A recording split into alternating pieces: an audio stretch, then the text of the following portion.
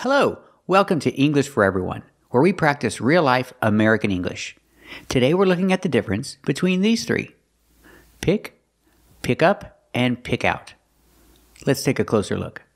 First, let's start with the easy one pick up. Pick up is a phrasal verb, and it's a separable phrasal verb. So I can say, pick up the trash, pick up the bottle, or I can say, pick it up. I have to put it in the middle. I can't say pick up it, it's pick it up. And we hear the T and it sound like a fast D. Pick it up, pick it up. She needs to pick up the trash. She needs to pick it up. Let's practice. Does she need to pick up the trash? That's right, she needs to pick up the trash. Does she need to pick it up? That's right, she needs to pick it up. What about clothes? Clothes is a plural. She needs to pick up the clothes. Or if I separate it with a pronoun, pick them up. Pick them up. She needs to pick up the clothes. She needs to pick them up. Let's practice. Does she need to pick up the clothes? That's right, she needs to pick up the clothes. Does she need to pick them up? That's right, she needs to pick them up. And sometimes you'll hear Americans say, pick 'em, pick 'em up. And they don't pronounce the TH sound. She needs to pick him up. We can also use the phrasal verb pick up when you give somebody a ride. My friend needs a ride. He doesn't have a car, so I need to pick him up. Pronunciation pick him up or pick him up. Again, with him, we hear the sound um, um. Pick 'em, pick 'em up. My friend needs a ride. Do I need to pick him up? That's right, I need to pick him up. What if it's a girl? If it's a girl, I say pick her, pick her up. You don't hear the H because the word her is not stressed. So you hear pick her, pick her, pick her up. She needs a ride. And she called me. She asked me if I could pick her up. So I need to pick her up. Let's practice. Do I need to pick her up? That's right, I need to pick her up. She doesn't have a car. What about this situation? Flowers. They're on the ground, so can I say pick up the flowers? No, I cannot. When you talk about things that are growing, flowers, fruit, vegetables, we do not say pick up. We only say pick. So he is picking flowers. I cannot say he's picking up flowers. I have to say only pick. He likes to pick flowers, and right now he's picking flowers. Let's practice. Does he like to pick flowers? That's right, he likes to pick flowers. Is he picking flowers right now? That's right, he's picking flowers right now. Or berries. You're talking about something that's growing, like fruits or vegetables. The kids are picking berries, and they love to pick berries. Let's practice. Are the kids picking berries? That's right, the kids are picking berries. Do they love to pick berries? That's right, they love to pick berries. So it can be something low on the ground, or something in a bush, or something high, like apples. You don't pick up apples, you pick apples. And they're picking apples.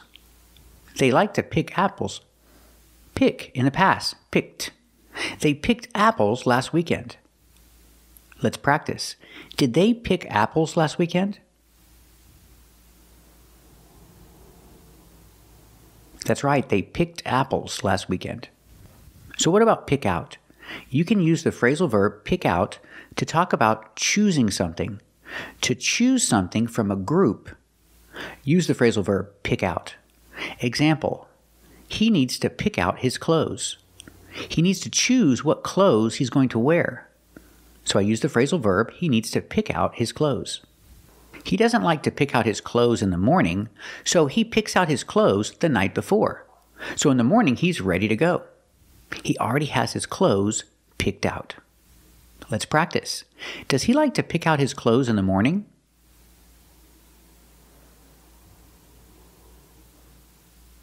That's right, he doesn't like to pick out his clothes in the morning. Does he pick out his clothes the night before?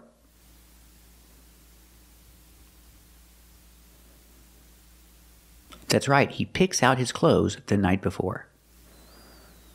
What about you? Do you like to pick out your clothes in the morning?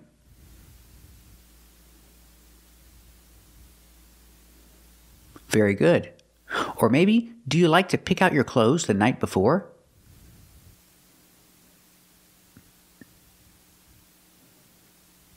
Very good.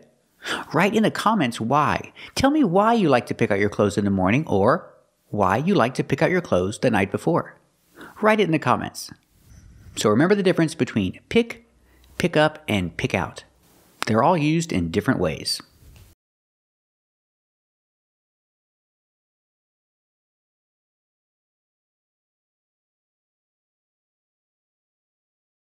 Today we're going to talk about four very confusing words choice, choose, chose, and chosen. Let's take a closer look at each word. First, let's look at choice. Choice is a noun, it's a thing, so we need a verb. The verb or the action is make. You make a choice.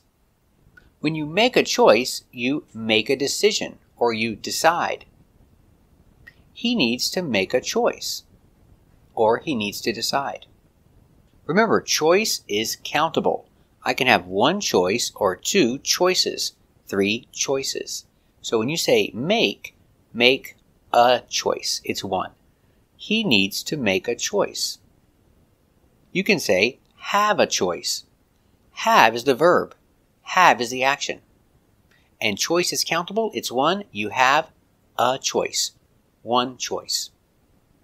When you have a choice, you have an option. You can choose this one or you can choose that one. You have a choice. If you don't have a choice, you only get one thing. If you have a choice, you have an option. If you don't have a choice or you have no choice, you have to do this. You have no choice. This is for you. This is your only option. Now let's look at choose. Choose is the verb, choose is the action in present. So if I say I need, I need to choose. It's the same as I need to make a choice. So he needs to choose. Example, he needs to choose Pronunciation, use the zebra z sound with vibration. Z, choose.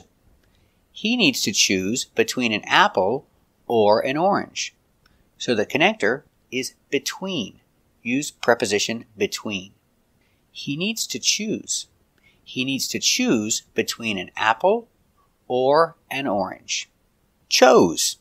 Chose is the action choose in the past we change choose to the past chose.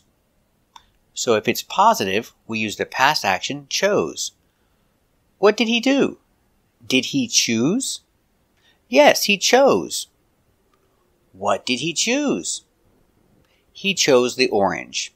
He chose the orange. He made a choice, and he chose the orange. Pronunciation? Use the zebra. Z chose. Z. He had a choice, and he chose the orange. He had a choice between an apple and an orange, and he chose the orange.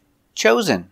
Chosen is the participle or the third form of choose, the verb choose in present, chose in past, and chosen is the participle we use with have or has. So I make the question Have you chosen yet? Has he chosen yet? No, he hasn't chosen yet. He's still thinking. Or he's still choosing. He hasn't chosen yet.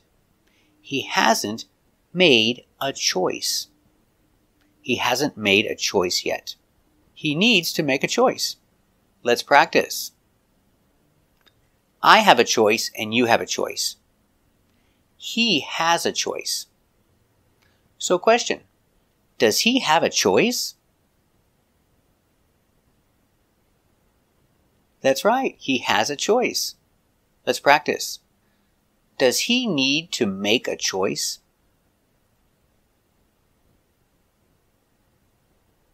Very good. He needs to make a choice. Let's practice. Does he need to choose between an apple or an orange?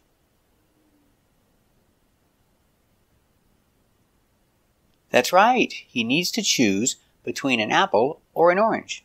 Let's practice. Did he choose the apple or the orange? What did he choose? That's right. He chose the orange. Let's practice. Has he chosen yet? That's right. He hasn't chosen yet. He's still thinking. Thank you for watching. And if you need more resources to practice English, click the link below and check out the book that we use in our classes to practice reading, listening, and speaking. Thanks for watching.